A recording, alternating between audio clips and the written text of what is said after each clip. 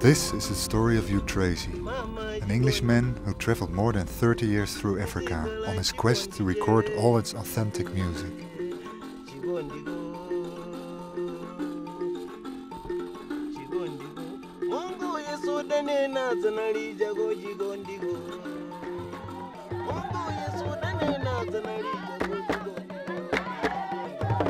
But it is also the story of the primordial power which is hidden in this music. A power which in the end seems to appeal to all of us. Following in Tracey's footsteps, we go back to the places where he was to find out about his passion and learn more about ourselves.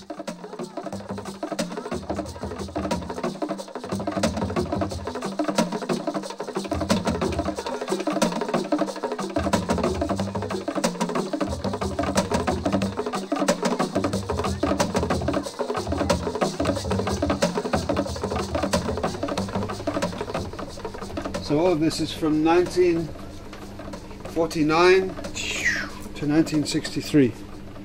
So this is the stuff. It's African music, man. As it as it used to be.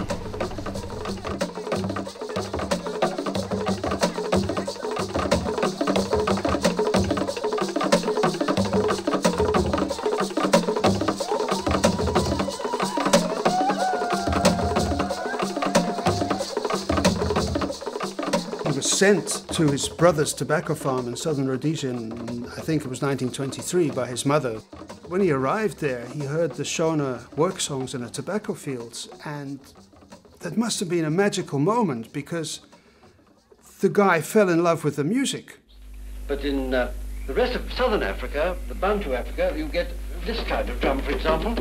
Maiwa mazungu muzangu ringana, yo wekan muzangu ringana. Maiwa mazungu muzangu ringana, yo wekan muzangu ringana.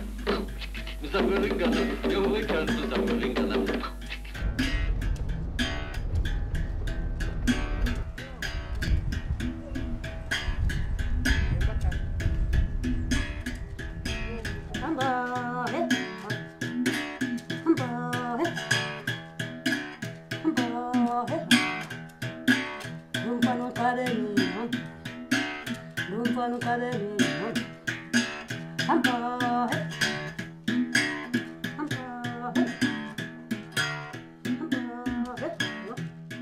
No white man had taken African music seriously before. He was an ambassador for this music in an era, the colonial era, that people just said it's it's primitive. They're all primitive. You know, why bother?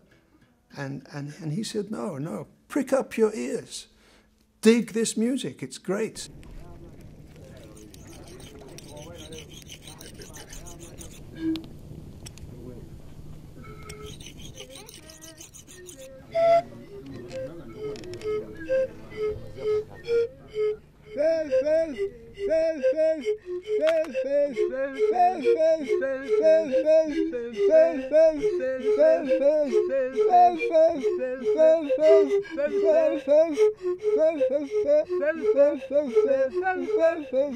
The, genius of African music very often goes into the rhythm, different time patterns simultaneously.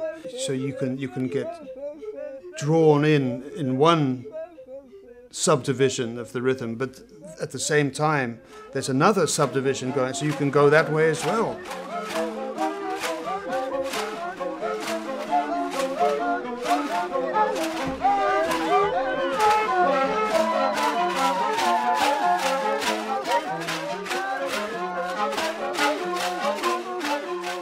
On your own, you're nobody, man. It doesn't work. You're part of a collective. Together, we are someone.